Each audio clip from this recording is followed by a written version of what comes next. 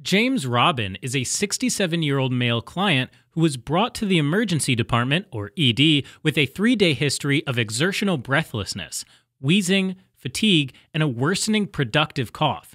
He states he's been having increased difficulty with normal day to day activities such as eating, talking, and going up the stairs.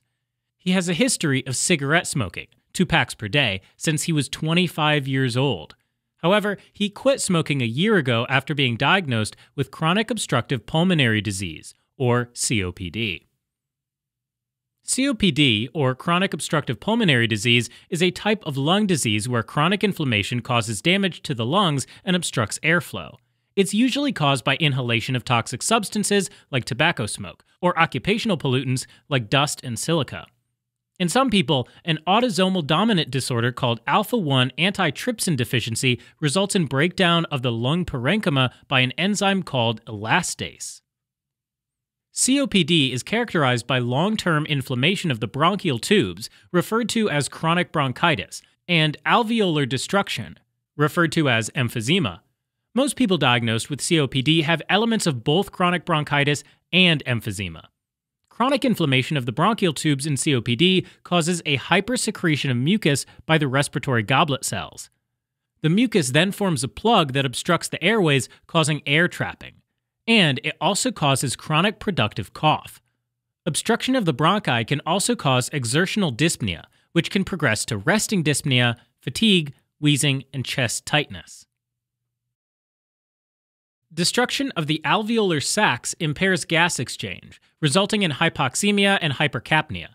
Loss of elastic recoil causes collapse of the airways during exhalation, trapping the air and dilating the air spaces. To make breathing easier, they often use the tripod position, where they sit up and lean forward with their hands on their knees. They may use pursed lip breathing to prolong expiration and produce positive end expiratory pressure, or PEEP, which allows them to breathe out as much air as possible. Because this breathing technique requires use of accessory breathing muscles, they will expend a lot of energy just to breathe. Air trapping also leads to an increased anteroposterior diameter of the chest, sometimes called a barrel chest. Chronic hypoxemia can result in cyanosis, a bluish discoloration of the lips or fingertips. It causes constriction of the pulmonary vessels and pulmonary hypertension. This increases the workload on the right side of the heart, leading to right sided heart failure, or cor pulmonale. Diagnosis of COPD is based on the client history, physical examination, and pulmonary function tests, or PFTs, to evaluate the degree of airway limitation. The forced expiratory volume in one second, or FEV1, and the vital capacity, or FVC, are measured after the client is given a bronchodilator such as albuterol. A FEV1 to FVC ratio less than 70% indicates airway obstruction. Since COPD is an irreversible disease, giving a bronchodilator does not change the person's PFTs too much. Finally, alpha 1 antitrypsin deficiency screening may also be done. Long term management for stable COPD includes smoking cessation and the avoidance of other triggers such as pollution and allergens. Influenza and pneumococcal vaccines should be administered to decrease the risk of respiratory infections. Although COPD is an irreversible disease, bronchodilators can help ease symptoms and corticosteroids can decrease inflammation in the lungs. Supplemental oxygen may be needed to maintain an oxygen saturation between 88 to 92%. For these clients, the goal is not 100% saturation because hypoxemia is the main stimulus for their respiratory drive. Finally, since these individuals expend much of their energy on simply breathing, dietary adjustments may be needed to maintain weight and muscle mass. An exacerbation, or a sustained deterioration of their respiratory symptoms beyond their normal day to day variability, may manifest with increased dyspnea, cough, sputum production, and fatigue. Increased wheezing may be noted, and increased hypoxia may result in confusion or decreased level of consciousness. Arterial blood gases, or ABGs, may show decreased PaO2, increased PaCO2, increased HCO3- and decreased pH. Okay, let's get back to our client, Mr. Robin. Since presenting to the ED, he has been admitted to the pulmonary ward for treatment of an acute exacerbation of COPD. You have been assigned to his care. After entering his room, you introduce yourself, wash your hands, and confirm his identity. Mr. Robin is sitting up on the side of the bed, leaning over his bedside table in a tripod position. You begin your assessment of Mr. Robin by asking how he's feeling today. He states he's feeling short of breath and very tired. You notice that he struggles to complete full sentences because he has to stop to breathe. You notice nasal flaring, and he's pursing his lips during expiration. He states that he has had worsening respiratory symptoms for about a week, including breathlessness when doing activities such as getting up to go to the bathroom, talking, and eating. He states he has had a chronic productive cough for years. He says he usually coughs up clear sputum. However, in the last few mornings, it has increased in volume and is a thicker consistency. Upon visual inspection of Mr. Robin, you note he has a barrel chest and that he is using accessory muscles to aid with breathing, demonstrated by his ribs pulling inwards during inspiration. You auscultate his lungs, which reveals expiratory wheezing and coarse crackles to the lower lobes. Capillary refill is less than 3 seconds. Throughout your assessment, Mr. Robin appears alert and oriented, but continues to be short of breath. His vital signs are as follows blood pressure 135 over 80, heart rate 80 beats per minute, temperature 98.6 degrees Fahrenheit or 37 degrees Celsius, oxygen saturation 87% on room air, respiratory rate 26 per minute, 0 out of 10 pain. You review his latest lab values, which include complete blood count, basic metabolic panel, and arterial blood gases. You make a note of his ABG values. pH is 7.34, PaO2 is 62 millimeters of mercury. PaCO2 is 65 millimeters of mercury. HCO3 is 32 milliequivalents per liter. You document your assessment findings before leaving the room.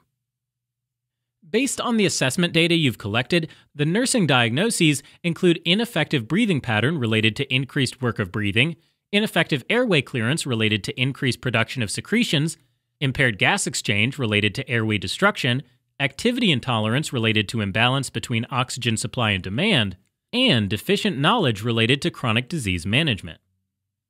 Now that you've gathered all the assessment data, relevant diagnostic information, lab values, and created some nursing diagnoses, you outline several important goals to achieve. By the end of your shift, Mr. Robin will have an effective breathing pattern as evidenced by breathing at a normal rate and depth, the absence of dyspnea, and no use of accessory muscles and he will maintain clear, open airways as evidenced by clear breath sounds and ability to effectively cough up secretions. Optimal gas exchange will be demonstrated by unlabored respirations at 12 to 20 per minute, pulse oximetry at therapeutic levels during rest and exertion, and blood gases closer to normal range. Increased activity tolerance will be evidenced by enhanced capacity and energy to ambulate 25 feet without feeling breathless. Finally, prior to discharge, Mr. Robin will verbalize an understanding of COPD, demonstrate how to use his inhaler, avoid triggers for exacerbations, and understand the long term management of COPD. After collaborating with Mr. Robin's healthcare team and receiving orders, you review the plan of care. While completing Mr. Robin's vital signs, which are ordered every two hours, you continue to monitor his respiratory status by listening to his lungs and observing his breathing rate, depth, and use of accessory muscles. Mr. Robin's other orders include supplemental oxygen therapy at 2 liters via nasal cannula, with continuous monitoring of his saturations through pulse oximetry. His target oxygen saturation is ordered to be between 88 and 92%. Several medications have been ordered, including albuterol, a bronchodilator administered via inhaler with a spacer, and prednisone, an oral corticosteroid. While administering these medications, you review with Mr. Robin the proper technique for using the inhaler and remind him that he will need to adhere to his medication regimen after discharge. You stress the importance of continued smoking cessation and measures to decrease the risk of infections, including hand washing and vaccinations. You collaborate with the physical therapist, or PT, who is helping Mr. Robin with techniques and exercises to help ease his work of breathing and conserve energy while completing ADLs. The respiratory therapist, or RT, helps him learn breathing and airway clearance techniques and draws blood for blood gas analysis. Throughout your shift, you'll closely monitor for signs of deteriorating respiratory status. Any increased dyspnea, cyanosis, and decreased level of consciousness will be reported to the ordering physician immediately. By now, it's near the end of your shift, and it's time to evaluate and see how Mr. Robin is doing. His breathing appears less labored, he's no longer using accessory muscles, and he's been effectively coughing up his secretions. He has remained on 2 liters of oxygen via nasal cannula throughout your shift. His oxygen saturation remains at 91% while resting, but decreases to 87% when standing up or ambulating a few steps. He remains alert and oriented throughout the shift, but he tires quite easily. His vital signs are blood pressure 125 over 79, heart rate 90, temperature 98.6 Fahrenheit or 37 Celsius, respiratory rate 22 per minute, and pain 0 out of 10. His ABGs are pH 7.4, PaO2 72 millimeters of mercury, PaCO2 48 millimeters of mercury, HCO3 28 milliequivalents per liter. So it's pretty clear Mr. Robin is improving. You continue to reassess, reevaluate, and document Mr. Robin's response to interventions to determine if his goals are being met and if his plan of care should be revised. All right, as a quick recap. Your assigned client, James Robin, presented to the ED with an exacerbation of COPD, which is characterized by inflammation, hypersecretion of mucus, airway obstruction, and alveolar destruction, Inhalation of toxic substances like tobacco smoke or environmental pollutants are common causes.